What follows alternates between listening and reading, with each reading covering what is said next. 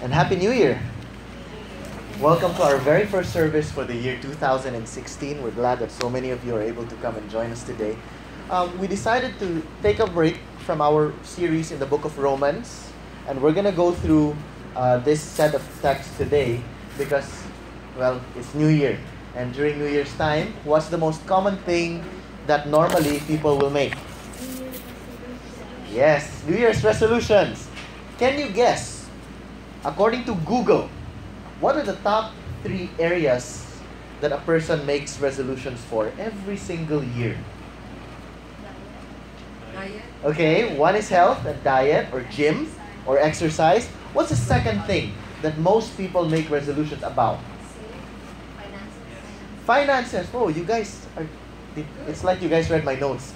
Okay, but okay, the first one is dieting or gym. The second one is financial stuff, more savings, or they're going to invest in something, or they're going to save more, or they're going to cut down on expenses. What's the third area? No. Okay. Relationship goals, who goods now. The third, according to Google, is religious duties. So people, yeah, that's top three. I'll be more spiritual. I'm gonna pray more. I'm gonna attend church more, or I'm gonna do all these things. So usually, those are the top three. And I remember this was many many years ago, when I decided I'm gonna go to the gym. So I went to holiday gym, holiday gym inn and spa or something like that. Okay, and then uh, the person there said, "How much ang imuhang, How much will you pay for?" And I said, "The whole year." Ah, okay, commitment lagi. And then the person said, "Sir, are you sure? Don't you want to get maybe one month or two months first, or maybe three months trial? Yeah, or get the promo?" I said, "No, no, no. I'm paying for the whole year so that I will force myself to go to the gym." Lo and behold, I lasted for two months. After two months, wala na. Uh, and then I went to, to the gym and asked for a refund. They said they couldn't refund anymore, and they reminded me how they warned me several times not to do it. And so nasayang. This was many years back. And I realized, bitaw no, I think the reason why is most of the time, these resolutions are emotional. They're usually based on, uh, you know, what we feel we ought to be doing without making a serious check and balance. We don't really think about what it will take. So on my part, when I enlisted in the gym, I never really thought about my schedule, my Monday to Friday sched, my Saturday and Sunday sched, what it will require of me, the commitment it will take. For me, it was an emotional thing. Sige, I'll do it. But emotions don't really last that long. In the spiritual life, because we're a church, we're not going to talk about the gym or diet or health or money or savings. We're going to talk about the third type of resolution, the religious ones. In the spiritual life, again, Google tells me nga there are top four uh, religious uh, resolutions that people make. The first one now is they will start praying more. That's top one. Top two resolution is attending church. Going to church, and that includes Bible studies, fellowshipping, making sure you're going out with church people and all that. And the third, surprisingly enough, here's the third that they're going to read the whole Bible from start to finish within a year. That's the top three religious resolutions according to Google. And then there are top three resolutions that they will stop doing now. Top one, uh, let's make it from top three and then two and then top one. Top three or third sec- or second runner up is they will stop wasting time. Ah, I'm like, whoa, really? Google, are you sure? That they're gonna stop wasting time and they're gonna start doing spiritual things. First runner up is they will stop sinful habits or bad habits. Okay? And the number one resolution that the people will stop doing now, this is all for 2016. Who can take a crazy guess what they're gonna stop doing? Google says they're gonna stop cursing. Like, whoa! I guess this is American. Okay, Google man siya. But now I want to ask, what does Jesus say? about all this. What does Jesus himself say about resolutions? And you know, when Jesus starts talking, you can be sure of two things. Number one, it's going to be very loving. Number two, it's going to be very shocking. That's Jesus' style. He will love you and shock you at the same time. Now let's take a look at what resolve says, uh, what resolve means in the Bible dictionary. A resolve is a decision made before the anticipation, anticipated event based on a weighing of the facts of the case. So a, dis, a resolution is just like a conviction. You've decided beforehand what you're going to do, even before many factors happen in the future. That's what a resolution or a conviction is. So we're going to jump into Luke chapter 14, verse 25. But before we start there, I'm going to tell you the context lang. So what's happening during, during this time? Jesus is now a rock star, okay? He's popular. He's famous. Everybody knows him. He's done so many miracles. The people who were baptized by John the Baptist transferred to him already. A lot of followers of the Pharisees left the Pharisees and they started following Jesus. And so imagine you've got a gigantic crowd of thousands following Christ. So wherever he goes, the crowd follows. They like watching him perform miracles. They like it when he heals the sick, when he multiplies food, and when he preaches, people are always shocked. So he's a very interesting guy to follow. Imagine if Jesus had Instagram, Twitter, Facebook. Can you imagine? All the followers clicking, waiting, watching. And here's the thing whenever Jesus came up with the Pharisees, sparks fly. There's always tension. And people like watching that. They enjoy the the chismes. Oh, guess what Jesus said? Burn kayo, you know. So it's very interesting. It's so much fun to follow him. And so at one point, Jesus suddenly spoke to them about what it really means to follow him. Because there's thousands of them. So let's look at Luke chapter 14. We're going to start in verse 25. Now great crowds accompanied him, and he turned and said to them, If anyone comes to me and does not hate his own father and mother, and wife and children, and brothers and sisters, yes, even his own life, he cannot be my disciple. So he goes straight to the point. And this is very shocking. Does Jesus really want me to hate my parents? That doesn't make sense. Siguro, if we come from different backgrounds, no, some people will probably say, ah, that's so easy. I hate them, they hate me bitaw. You know, but most of the time, we have parents who love us, who care about us, who's shown us so much love, so much generosity. How could Jesus say this? How much more to the Jew? Remember, the Jews valued their parents. One of the commandments in the Ten Commandments says, honor your father and your mother. So can you imagine? Moses said, honor your father and your mother. And then Jesus says, if you don't hate your father and mother, you are not worthy. Oh! But Moses said, can you imagine the shock people would feel? So this is bad news for the Jews. Secondly, it also gets even worse because according to the Mosaic law, children are supposedly a sign or a badge of honor for the parents. So if you had children, remember, huh, this is the agricultural age. The more kids you have, the more people will be help, helping you plow the, you know, the animals and tow the fields and all that stuff. In the agricultural age, the more kids you have, the more free labor you get. Right? So, sa una, child labor, no such thing. It's just how the world worked. And so for them, they love their kids because they're very grateful to their kids. Because their kids are always helping them with the family business, quote unquote. And so when Jesus said, you have to hate your own father and mother and wife and children, that's insane. And then Jesus makes it even worse. Brothers and sisters. Do you guys know the culture of the Middle East when it comes to brotherhood? Once someone calls you a brother, that's not a joke.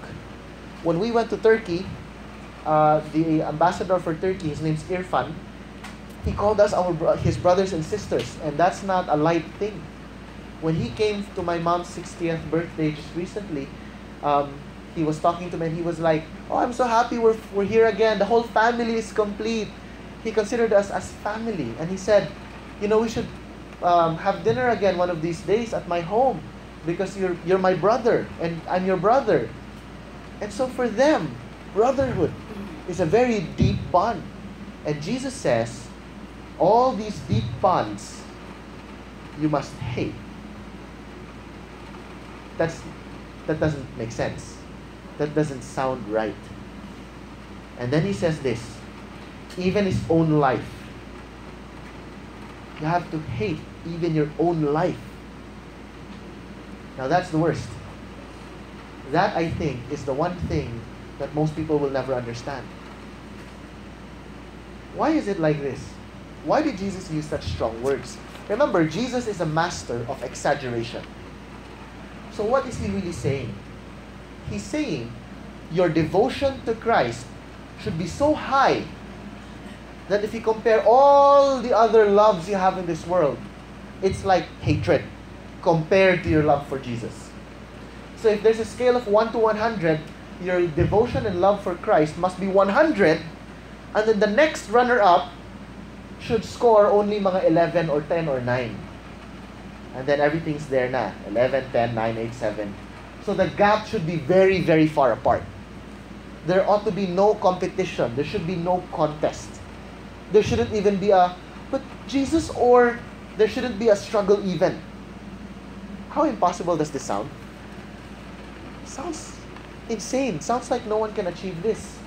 It sounds impossible. Now look at verse 27. Jesus even continues. He says, Whoever does not bear his own cross and come after me cannot be my disciple. So he emphasizes the death. Now, again, let's go back to the Jewish mind. Ever since Moses, the time of Abraham, to Moses, all the way to right before Christ, the Jews always thought that if God loved you, you will win the war. So for the Jews, I can kill for God. But dying for God, okay lang in the context of war. But if I'm not supposed to fight back, and I'm just gonna let people kill me for God, for them, that's not really very triumphant. That doesn't sound like a good religion. They're so used to winning wars for God. And to make matters worse, Jesus talks about the cross. The cross before was the penalty for crime. But not just any crime. You know what the cross is really a penalty for? Treason. The cross was actually reserved for people who betrayed the government, who betrayed the law. So it's treason. So this is like our version of the death penalty via I don't know, maybe electric chair, and then when you're still alive, they'll inject you with poison, something like that. So it's very gruesome, it's very bloody, it's very gory. So why would Jesus say you should carry your cross? The implication here is that you should love me so much you're willing to commit treason against every other loyalty in your life. He's saying, if it comes to the point that mm. others will feel betrayed because you love me so much, you have to be willing. This is an insane commitment. It's an impossible resolution. Imagine all the followers who were following Jesus during this time. Oh, I'm a follower. You a follower also? Yes, high five, follower. And then Jesus starts talking. Can you imagine how they felt? Oh, this is some hard stuff, Jesus. Like, we're just here because we like watching you and you make all these cool miracles, and now cross, treason, death. This doesn't sound like such a good deal. So, how is this kind of loyalty comparable to most professing Christians today? There are four other kinds of Christians. There's actually five.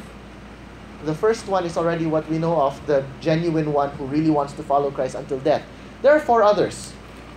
Let's count the other four. One, one is what we call the convenience Christians. I only follow Jesus when it's convenient, when it's easy, when it gives me you know, the feels when it's nice. But once it doesn't give me my, uh, you know, what I like to hear and all that, nah, it's getting kind of inconvenient. No thanks na lang. You know, it's kind of too far, too or too hot or too inani. No na lang. I remember when we went to China uh, on a mission trip where the Chinese, the people there, would cross four mountains, two, uh, three provinces, one river, and one lake just to go to church on a Sunday. So they start traveling Saturday night to arrive Sunday morning, and they spend the whole Sunday morning there, whole day, and then at Sunday 4 p.m. they start traveling back home. And I talk to them, and for them it's nothing. For them it's a joy. It's even exciting. It's it's they make a, a big deal out of it. It's like a road trip for the family. We're like, oh my goodness. And you know where we where they, they would meet? They would meet in the most inconvenient places. So usually not so much aircon, you know, and the food isn't really that great. But they enjoyed it. And I thought to myself, oh my goodness, I went to China thinking I would minister to them. I come home realizing they're the ones encouraging me. This is the kind of expectation or commitment that's not really convenient. The second kind of Christian is what we call the teddy bear Christians. Why teddy bear? When we say teddy bear, it's something you like to hug, diba? And so teddy bear Christians are people who profess Christ, but really they just like to be hugged. They like to be loved. They go to the church so that people will love them and accept them. So they don't like hard preachings like this. They like it when people say, Oh, come as you are, we love you and accept you. And they're like, Yes, I'm so loved. And then when someone says, Bro, your lifestyle, that, that's, that's sinful. You're not supposed to be doing that. You don't accept me anymore. And they go away. The teddy bear Christians. And then there's a third kind the itchy eared Christians. The itchy eared Christians are people who like to hear what their itching ears just want to hear. This is, this is in First Timothy. So they only go to churches that say good stuff. God wants you to be happy and great and victorious and triumphant. But if, you know, you say, well, what about the apostles? What about those who died for the Lord? That's not God's will for you. Why should it be? God is a God of love. How could He will for you to suffer? These are the itchy eared Christians. They just go to churches that say nothing but the good stuff. So they never preach, uh, they never like to hear preachings of Jesus saying, If you follow me, you will go through trials, tribulations, you will suffer for my name, if they hated me, they will hate you. If the world does not know me, they will not know you. And by this, your Father in heaven will be glorified. Nobody wants that promise. That's the itchy eared Christians. The fourth one, interestingly, is the secret agent Christians. What's a secret agent Christian? A secret agent Christian is someone who goes to church, does all the things a Christian is expected to do, but will never share his faith. Why? I don't know. Maybe he's afraid that it will destroy his reputation, ruin his career, destroy his business, or just lose friends. But they will never say anything. Secret agent. Now, I wonder which one Jesus accepts. Look at verse 28. Which of you, desiring to build a tower, does not first sit down and count the cost, whether he has enough to complete it? Otherwise, when he has laid a foundation and is not able to finish, all who see it begin to mock him, saying, This man began to build and was not able to finish. I think today that's still very common. Have you ever seen those condominiums nga it's not really fully paid? And so they start pre-selling hoping that they get enough buyers so they have money so they can finish it. So they counted the cost and they know they have not enough money. But they sell. That's a very risky, foolish thing to do. Because if not enough people buy, you won't really have enough to finish the tower and then those who bought will default and they will sue you. And then people will laugh at you and you become a laughing stock. But why did God, Jesus, use a tower as an illustration? Remember, he's talking to Jews. If there's